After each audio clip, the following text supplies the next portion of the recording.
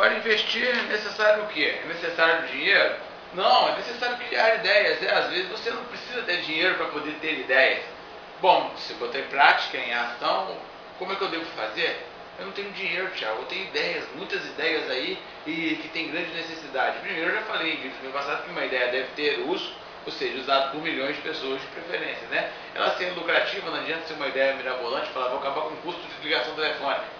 Quem vai patrocinar essa ideia, cara? Você não vai ter dinheiro? Você tem, que pensar também numa ideia que dê lucro. Independente que ela vai trazer benefício para a vida das pessoas, ela tem que dar lucro, senão não vai ter patrocínio. E você precisa desse patrocínio. Aliás, como alguém pode produzir algo sem patrocínio? Nem que seja de uma pessoa, mas de dinheiro.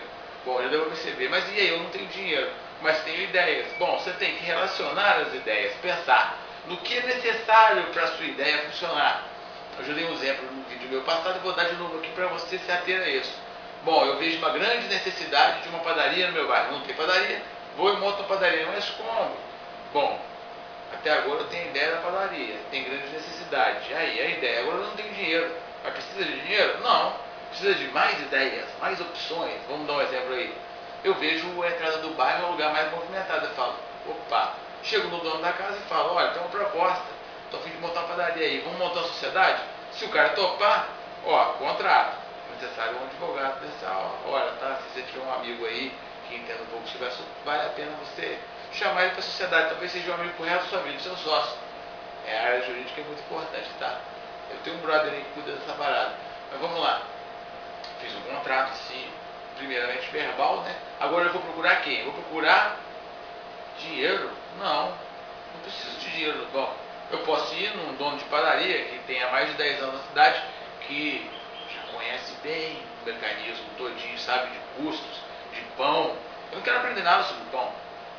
Eu quero entender sobre investimento. Bom, eu vou lá e proponho para ele, olha, eu tenho um local tem uma grande demanda reprimida, não tem nenhuma padaria lá montada, já tem um local e tudo isso. Você vai ter que entrar só com maquinário. A gente vai ver na sociedade. Bom, você já viu aí que como se criou é, um negócio a partir do zero? É isso.